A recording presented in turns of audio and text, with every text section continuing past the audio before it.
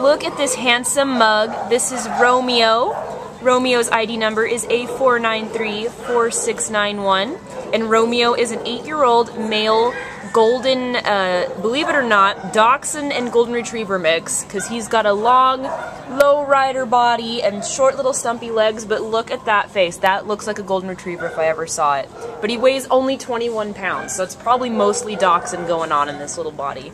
Um, um, our, our, poor Romeo here has a few medical issues um, that we want to point out. Um, he has some hair loss, some alopecia here, and it might be related to the fact that he came into the shelter um, with some ticks on him, um, which we've been working on getting off of him. Um, and it definitely can't feel good for the poor guy. he also has a little bit of lameness in one of his back hind legs. It's a little weak, and he has some trouble walking on it, so that's something that needs to get looked at by an outside vet. And he also has a heart murmur. Which is usually something that's not that much of a big deal. It can usually be managed with inexpensive uh, medication, but it's also something that should get looked at by an outside vet. But regardless, um, Romeo is, is a sweet puppy. We've had him out. Um, he's okay being picked up and held.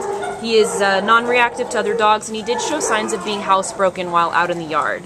Um, and um, I think I did not mention this earlier, Romeo was found as a stray in West Covina on April 4th. So if anyone is looking for their dear puppy um, in West Covina, um, come and check out the Baldwin Park Animal Care Center. Um, but Romeo here is looking for a new home. Um, he needs a little bit of medical attention, but he seems like a very sweet boy and doesn't seem at all like he's eight years old either. I mean, look at this puppy face. He looks like a puppy. Um, so he would like some love and care and attention, um, perhaps with a rescue or a new home um, outside of the shelter. So please come and check out Romeo and give him a second chance because this is the place for second chances here at the Baldwin Park Animal Care Center. See you later, Romeo. Sweet